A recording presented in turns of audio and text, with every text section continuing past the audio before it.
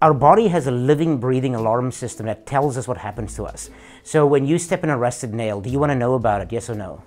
And the answer is obviously yes, because we need to know there's a nail in your foot. You can get an infection, gangrene, etc. We always ask little kids, even in school now, how do you know there's a nail in your foot?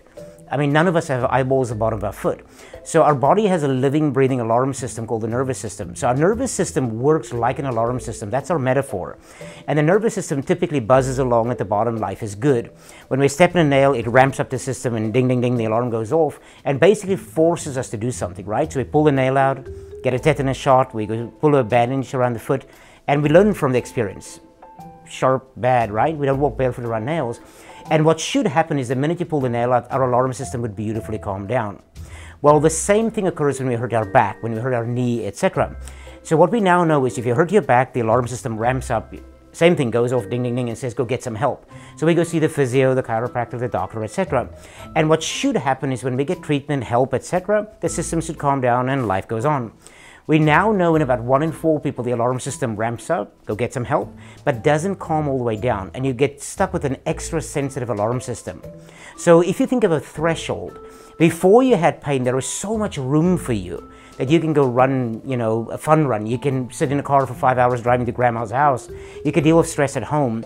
But since having pain, the alarm system has never calmed down and now it takes you know five minutes in the car the alarm goes off ding ding ding.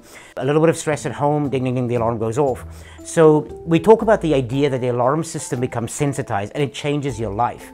Now i will tell you in all the years i've told people this story and all our research there's only three questions to ask us. How do you know this? You're a physio right? You're not a you're not a surgeon. Um, why did it not come down? And number three the biggest one they ask us is how do you turn it down as we teach a lot of people, if you can answer those three questions, game over. You're going to help a lot of people. So number one, how do we know it? You told me. This is the, what we call the used to could. This is what I could do, and this is what I can do now. Um, I can barely touch you. The physical palpation, the physical exams we as physios do. Why did it stay up there? All the yellow flags. This would be fear, worries about your job, worries about income, stresses at home, family life, etc. And then the biggest thing is how do we calm the system down? And then we give people a biological explanation for things like aerobic exercise, sleep hygiene, nutrition, relaxation, meditation, mindfulness. The list goes on and on and on. The story I just told you, maybe a little slower, easier, more explanation um, is probably the best story we've figured out in the last how many years we've done the research that people really get it and, and they understand. So I did hurt myself, but my system is sensitive.